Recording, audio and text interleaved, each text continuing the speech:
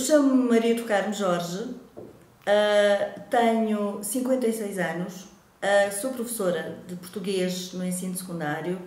Eu sou candidata, a primeira candidata na lista à Assembleia de Freguesia de Amora, nestas eleições autárquicas de 2017. E, e existem registros que datam uh, a criação deste local, Amora, do século XIII. Aliás, temos pessoas na freguesia que, que tenham estudado e que se debruçam sobre estes aspectos e que eu tenho muito prazer em, de vez em quando, ler. Essas pessoas que já fazem essa investigação, que já fazem essa pesquisa, poderiam ser ou são recursos que nós uh, poderíamos aproveitar também em para fazer um trabalho interessante de recolha desse património de uh, reconstituição, inclusive, de algumas tradições que se perderam, e como? Não de uma forma isolada, porque nada faz sentido neste momento de forma isolada, mas, por exemplo, em articulação com as escolas. O que eu me desagrada na Amora, sobretudo, é a falta de jardins, a falta de espaços verdes, a falta de lugares onde as pessoas possam uh, ir à noite, ir ao fim de tarde, estar ao fim de semana, a conversar com os amigos, a, a ir com os filhos e com as famílias. Uma piscina pública.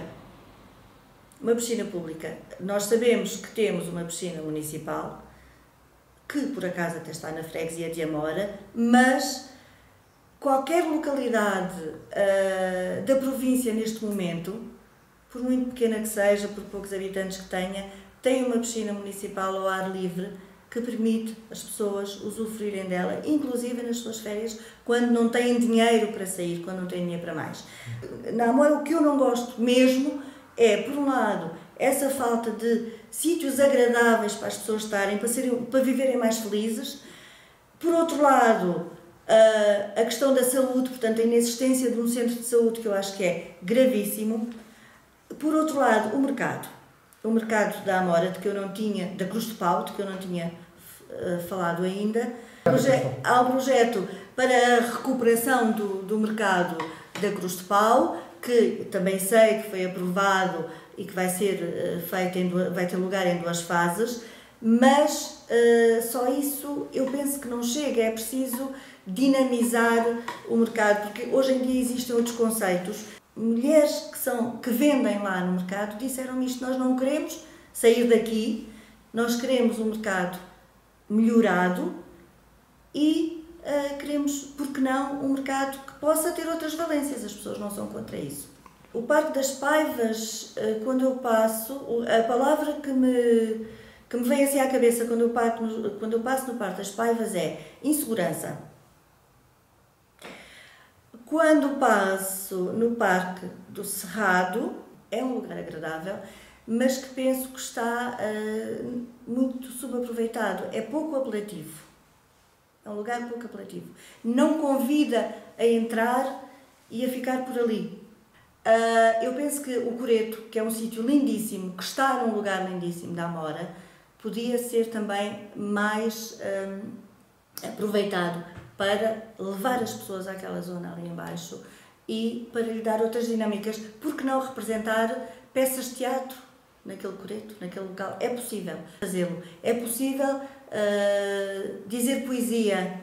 Nos Foros da Mora, no Pinhal de Conta Cunha, na, nestas zonas, portanto, mais limítrofes da freguesia, fazem falta, por um lado, uh, locais também para as pessoas se juntarem, para as pessoas conviverem, e nomeadamente espaços verdes. Há um local para onde eu olho imensas vezes quando passo, porque seria um, por exemplo, um parque, um parque da cidade uh, ali naquele local.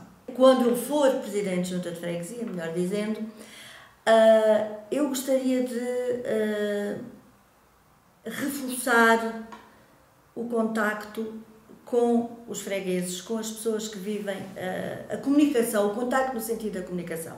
Dar prioridade ao contacto com as pessoas, ouvi-las, conversar com elas. É importantíssimo, no dia 1 de outubro, irmos todos votar. E, e é importantíssimo porque uh, é um direito mas é um dever. Está nas nossas mãos, com o nosso voto, contribuirmos para mudar aquilo que nós, em cada quatro anos, passamos o tempo a dizer isto está mal, aquilo está mal, queixamos-nos com razão. Mas é o dia das eleições que é determinante, é a nossa cruz que nós colocamos naquele boletim de voto que vai fazer toda a diferença. Não é só um voto, não é só uma cruz, porque é cada um de nós multiplicado por 40 mil ou por 30 mil, os que são votantes, os que podem votar, que vai fazer a diferença.